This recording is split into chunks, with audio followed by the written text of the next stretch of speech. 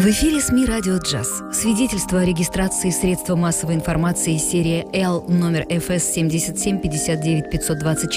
7759524 выдано 3 октября 2014 года Федеральной службы по надзору в сфере связи, информационных технологий и массовых коммуникаций Роскомнадзор. Информационная продукция, распространяемая посредством радиовещания радиоканала «Радио Джаз», предназначена для лиц старше 12 лет.